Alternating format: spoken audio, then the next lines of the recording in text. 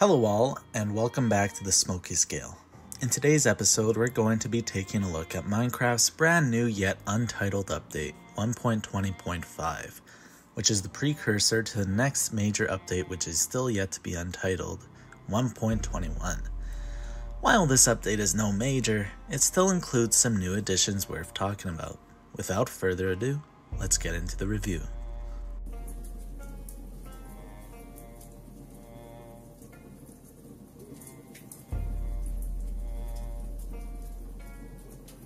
The first feature I'm going to talk about is the Armadillo mob, a mob which was voted in during the Minecraft Live 2023 mob vote, which had players pick between the armadillo, penguin, or crab.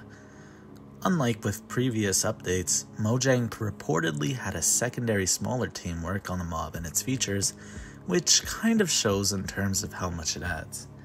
Lots of animation work went into the mob feel very lively, which is a trajectory that Mao Mojang has for most new mobs added, so they can market them easier probably.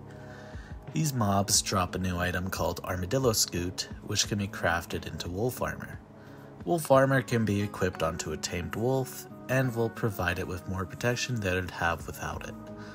Unlike Horse Armor though, Wolf Armor will tank all damage dealt to the wolf until it fully breaks, dealing no actual damage to the wolf. And just like leather armor, wolf armor can also be dyed to give your wolf some of its own identity. While the armadillo and its addition still don't really make me justify its addition in my head, and it definitely makes me think that its new Scute item could have just been leather or a different item already in the game. Wolf armor is a pretty good addition that we wouldn't have gotten without the addition of armadillos. Likewise, another feature that wouldn't have gotten added at least in this update is the addition of wolf variants. In this update, 8 new wolf textures were added, giving even more uniqueness to this mob.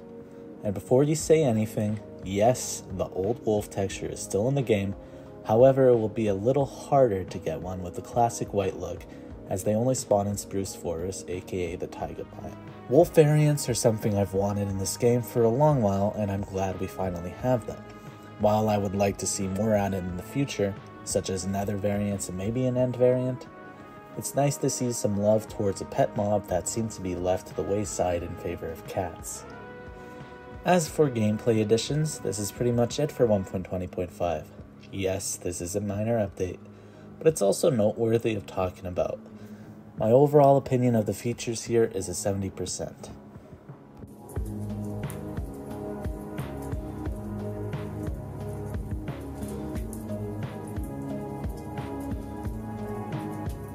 It's no secret that each update comes with its own list of changes, and this one has some to talk about.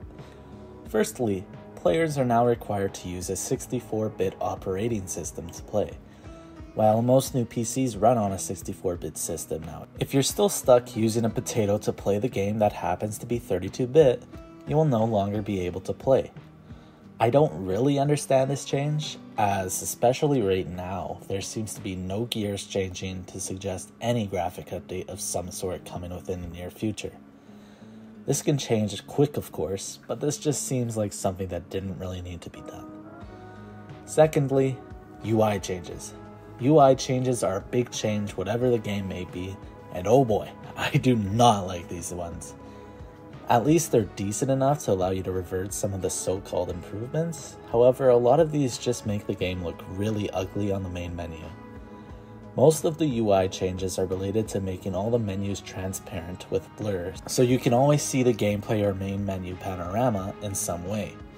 But this is probably one of the changes I especially don't see why they did it the most. Alongside these UI changes, whenever you transport over to a different dimension, such as the Nether or End, the portal background for the respective dimension will now be what you see during its loading screen. While this would be a relatively nice addition to have, what they have in game looks really jank and doesn't work for me. Besides all of these changes, there are the ones locked behind the 1.21 experimental data pack, which I won't mention any of until my 1.21 review this summer. My overall view on these changes and ones not mentioned is a 40%. Could very well use some work, which I'd expect to see by the release of the upcoming major update. Now on to the verdict.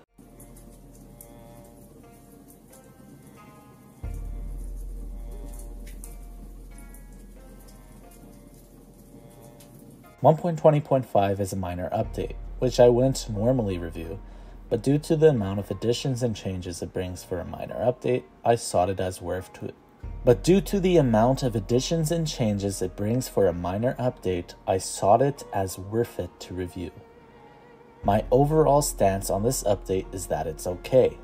There are some good changes here and there, but some of them leave me with more questions than none. Overall, I'm giving 120.5 of 50% on the smokey scale. Mojang better count your days. Anyways, that's about it. See ya.